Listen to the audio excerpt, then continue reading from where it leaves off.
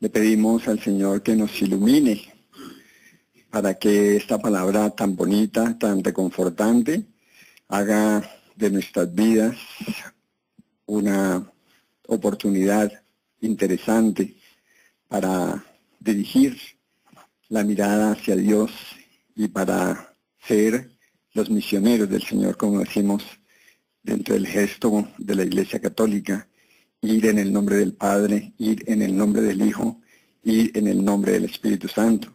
Y mandamos nuestra mano a la frente, y mandamos nuestra mano al corazón, y mandamos nuestra mano, nuestras manos a los, a los hombros.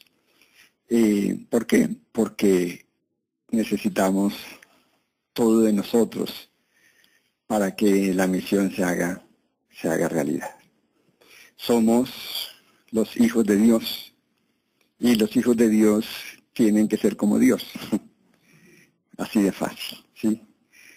Y cuando uno se va dando cuenta que hay un algo que intenta desheredarlo, que intenta separarlo de los bienes de la casa paterna, pues uno tiene que ser muy pilo y decir, como dice Pablo, nada ni nadie me puede separar de ese amor de Dios.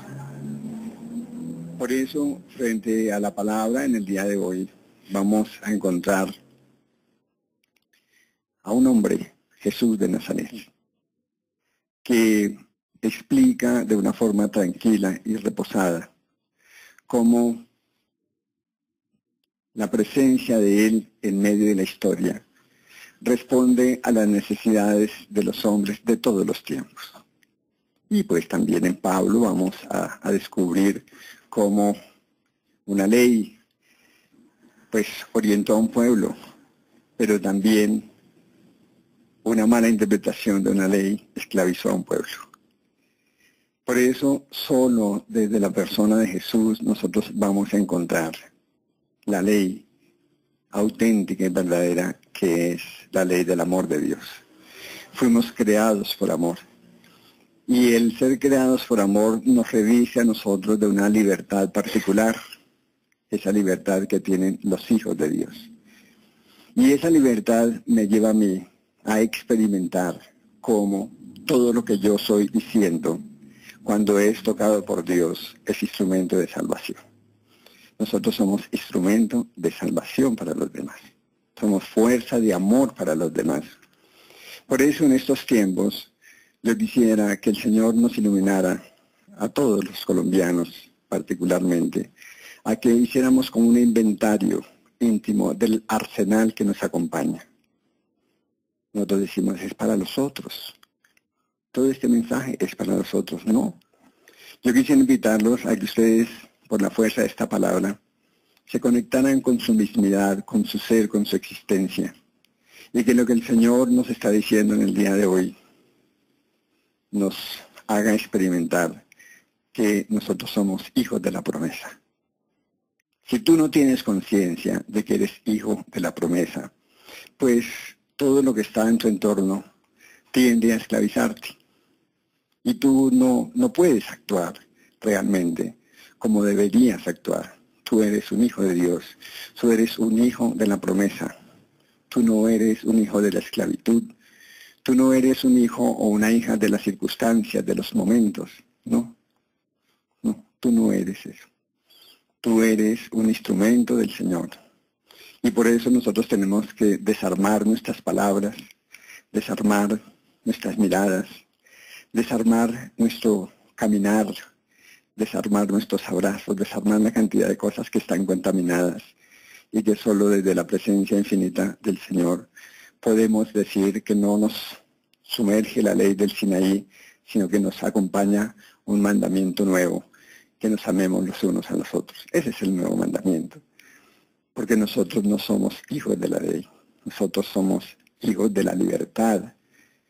Y apropiarnos de esa libertad hace que la ley en nosotros se supere, no porque nosotros no tengamos que cumplir la ley, de hecho tenemos que cumplirla, pero Jesucristo fue un hombre que asumió la ley cumpliéndola y la cumplió superándola. Él estaba por encima de la ley.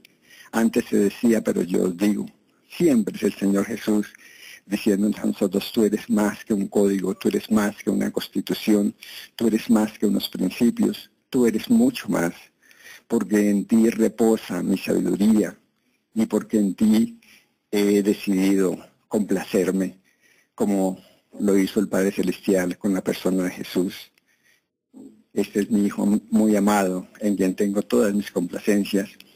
Y en la medida, mis queridos hermanos, en que nosotros nos transfiguramos, es decir, que en la medida en que nosotros nos mostramos como somos ante el mundo, en la medida en que nosotros nos unimos a los profetas, a los apóstoles, pero particularmente a la persona de Jesús, recibimos una capacidad inmensa de ser nosotros y de mostrarnos al mundo como somos realmente nosotros, porque es importante que el mundo nos vea a nosotros como somos nosotros, para que Dios desde su infinito amor pueda contar con nosotros. Que uno se vuelva respuesta para su entorno, para su gente, para su iglesia, para su país. Y yo creo, mis queridos hermanos, que llegó el momento de recapitular todo lo que nosotros somos como capacidad de Dios para otros. Que el Señor nos dé la gracia, como nos dice San Pablo, de sentirnos Espíritu Santo, de sentirnos templo del Espíritu Santo, de sentirnos nosotros espacio donde Dios obra, porque eso es un templo. Un templo es un lugar de encuentro entre Dios y el hombre. Y cuando San Pablo nos dice a nosotros que nosotros somos templos del Espíritu Santo, sencillamente nos está diciendo, el que te ve a ti ve a Dios. Eso es lo que nos está diciendo Pablo. Y entonces la gente nos pide oración, y la gente nos pide favores, y la gente cuenta con nosotros. ¿Por qué? Porque nosotros le hemos mostrado a la gente que oramos, que tenemos fe y que nuestra fe y nuestra oración generan una reacción profunda. Cuando los discípulos le dicen al Señor, Señor, aumentanos la fe. El Señor no dice esto, pero yo creo que lo dijo. Pero con la fe que tienen no funcionan. ¿Para qué les aumento más la fe? Si tuvieran fe como un granito de mostaza, moverían montañas, harían que en los mares apareciera esto y apareciera aquello. ¿Para qué les voy a aumentar la fe? Entonces hoy es un mensaje muy profundo. No tanto es que les digamos al Señor, aumentan en la fe, que qué bueno tenerla, una gran fe. Pero si esa fe no es viva y operante, ¿para qué más fe? Entonces en nosotros está la fe. Nosotros creemos profundamente en que el Señor en su caminar, en su cotidianidad, participó también de nuestra cotidianidad. Y eso es lo que nos hace a nosotros sentir no solamente la presencia del Señor, sino la capacidad que tiene el Señor de sanarme, de liberarme, pero sobre todo de salvarme. Recuerdan ayer el pasaje de los diez leprosos. El Señor les dio sanación a todos y les dio salvación a todos, pero solamente uno los diez aceptaron la, sanación, pues por supuesto, ¿sí? Pero solo uno se devolvió a participar plenamente de la salvación, de la salvación. Una sanación, diría el Señor, es lo de menos, porque ese es Él. Entonces, liberémonos nosotros, allá en lo íntimo del corazón, buscar cosas extraordinarias. No negociemos con Dios frente a las situaciones de nuestra vida económica, de salud, eh, intelectuales, lo que sea. No negociemos con Dios, porque eso es perverso. Realmente lo que el Señor nos quiere iluminar es que hemos recibido todo de Él. Y con Él no se puede negociar. Él es todo, Él es bondad, Él es plenitud. Y lejos de que un sacerdote o un pastor o una persona con determinados dones y carismas esté pidiendo compensación económica o honores o lo que sea, eso es perverso. Porque él lo hace desde el Señor, en su infinito amor lo hace.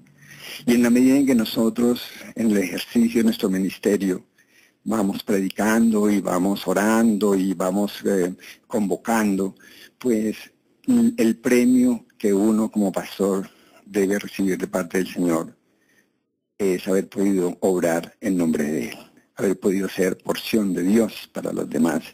Y entonces uno sencillamente tienes que agradecerle al Señor que lo tuvo en cuenta para que lo reemplazara Él, obrar en nombre de Él. Que el Señor nos bendiga para que esta palabra tan bella que hemos recibido en el día de hoy nos comprometa y nos haga sentir a cada uno de nosotros el único signo es Jesucristo. Es el, es el signo por antonomasia. No hay un signo mayor que la persona de Jesús. Por eso los de Nínive, si no aceptan a Jesús, si la reina no acepta a Jesús, si los hombres no aceptan a Jesús, pues el no aceptar a Jesús básicamente es sumirse en una condenación. ¿sí? Es, sentir, es seguir encadenado, no porque Dios lo vaya a trasladar a un, a un sitio como ahora él están poniendo al rosario una cantidad de cosas del infierno y de todo eso. El, el rosario es una meditación de la palabra de Dios. No le pongamos más cosas de las que tiene. Nos basta leer la palabra del Señor. Nos basta leer y meditar los misterios de la palabra del Señor. Y desde ahí descubrir que el que no está en Jesús está condenado, o sea, está encadenado. Vivamos, vivamos, vivamos comprometiéndonos. Liberémonos nosotros de compensaciones. Que yo creo en el Señor si cantamos así, que yo creo en el Señor si, si hace este milagro así, que yo no, con Dios no vamos a negociar. Él no se deja negociar.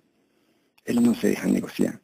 Y a pesar de que el Espíritu Santo lo significamos como, como una paloma, no se deja enjaular. No. El Espíritu Santo es libertad total, fuerza total, amor total. Y, desde ahí, desde ahí, nuestra, nuestra piedad, nuestro piar frente a Dios es reconocerlo como el papá bondadoso. Nuestro piar, esa piedad, ese amor, es sentir a ese papá amoroso que se acerca y que quiere que todo el mundo se salve desde la persona de su hijo. Y entonces, ¿qué tenemos que hacer nosotros? Ser placenteros, ¿sí? Ser abiertos, ser agradecidos y respirar profundo y decirle, si tengo a Dios, tengo todo. Si tengo a Dios, nada me falta. Si tengo a Dios, tengo estabilidad emocional, psíquica, afectiva. ¿Por qué? Porque ese es el Dios que yo conozco. Ese es el Dios que me libera, ese es el Dios que me salva. Y ese Jesucristo, que es el mismo ayer, hoy y siempre, llega a lo más profundo de las generaciones del Antiguo Testamento y nosotros lo conocemos y todo, pero Jesús es integral, es total, es plenitud. Y desde ahí uno dice que de verdad, verdad, el Señor nos dio la mejor porción de la heredad, porque Él nos prometió y nos colocó. Solamente uno puede decir con corazón agradecido, te doy gracias Señor. Me ha tocado un lote hermoso, me encanta mi heredad. Amén.